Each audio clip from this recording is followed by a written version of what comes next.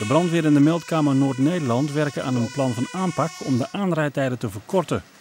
De brandweer in onze provincie kan niet voldoen aan de wettelijke normen. In 65% van de gevallen komt men te laat ter plaatse. Hier in de stad Groningen zie je dat we heel vaak wel op tijd zijn. Dat komt omdat we met een beroepsorganisatie werken, twee kazernes in de, in de stad hebben. Maar je ziet op het platteland dat dat veel minder goed lukt.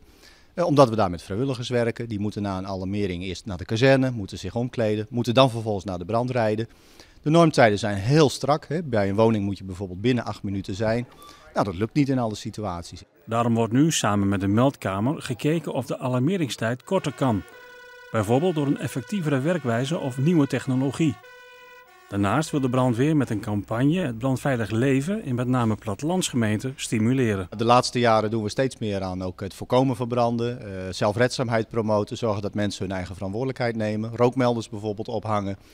En de brandweerzorg is dus het samenstel van zowel die rode auto's op straat als ja, wat je er zelf aan kunt doen in het voorkomen van, eh, van incidenten. Het plan van aanpak wordt binnenkort aangeboden aan de minister van Veiligheid en Justitie.